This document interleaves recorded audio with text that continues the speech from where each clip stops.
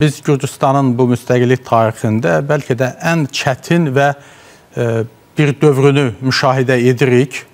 E, Gürcüstan doğrudan da seçim qarşısındadır. İndi oktyabrın 26-sında xalqın nə deyəcəyinə şahidlik edəcəyik. Amma mənə belə gəlir ki, Gürcüstan doğrudan da səmimi olaraq həm NATO-ya, həm də Avropa Birliyinə inteqrasiya etmək istəyirdi. Bu gün də indi onların dillərindən səslənir ki, onlar da bu mövzularından, bu istəklərindən əl çəkməyiblər. Amma məsələ burasındadır ki, Avropa Birliyinin tələbi ilə Gürcüstan nə edə bilərdisə, onları etdi.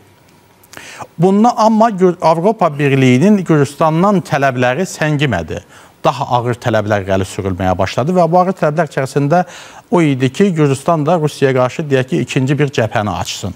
Buna da belə bir istək də var idi.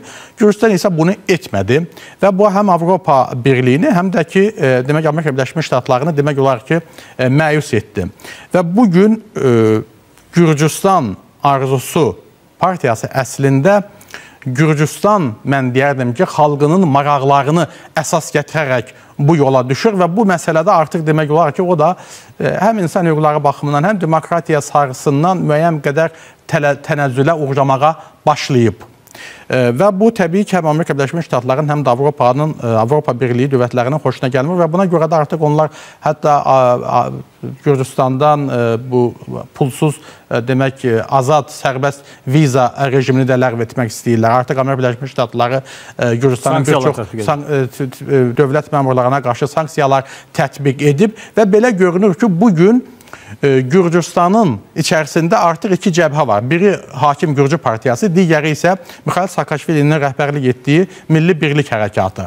Mən deyərdim ki, indi bu partiyalar arasında 26 oktyabrda mübarizə gedəcək, amma mən buna artıq o oxuduğum analizlərdən, özümün müşahidələrimdən demək istəyirəm ki, bu Rusiya ilə deyərdim ki, qərb arasında bir seçki olacaq.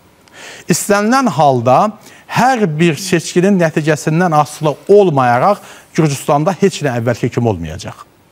Əgər Bidzina İvanişvilinin qurduğu partiya qalib gələrsə, indiki iqtidar partiyası qalib gələrsə, mən düşünürəm ki, artıq bu o deməkdir ki, Gürcüstan Avropaya inteqrasiya yolundan geri çəkiləcək və artıq e, Avropa Birliyi də e, Gürcüstanın Avropa Birliyinə inteqrasiyası prosesini dayandıracaq. Yox, əgər qalib gəlsin və qalib gəlsələr təbii ki, Rusiya ilə münasibətləri daha da yaxşı olacaq və bunun da müqabilində mənə belə gəlir ki, Rusiya imkan verəcək ki, onlar itirdikləri ərazilərlə bağlı hər hansı bir üstünlük əldə edə bilsinlər. Bu bir mənalıdır. Və sadəcə burada sonuncu bir məsələni nəyi demək istəyirəm ki, indi biz burada vacib olan Gürcüstanın xalqıdır, seçiciləridir. Gürcüstanda insanlar hələ də indi o vətəndaş cəmiyyətinə qarşı bir baskı olsa da, onlar agent haqqında qanunu qəbul etsələr də, hələ də vətəndaş cəmiyyəti ayaqdadır.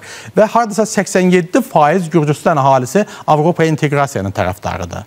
80% isə NATO-ya inteqrasiyasının tərəfdarıdır. Və belə görünür ki, qərb dəyərlərinə daha çox yaxın olan Mixail Saakashvilinin partiyası seçkilərdə qalib gəlməlidir. İndi bu necə olacaq, nə cür tənzimlənəcək və bu nə ilə nə baş verəcək? Ən qorxulusu isə budur ki, ola bilsin ki, mən məsələn orada olan hadisələri izləyərək, izləyərək görə bilirəm ki, bəlkə də Gürcüstan vətəndaş müharibəsinə sürüklənir.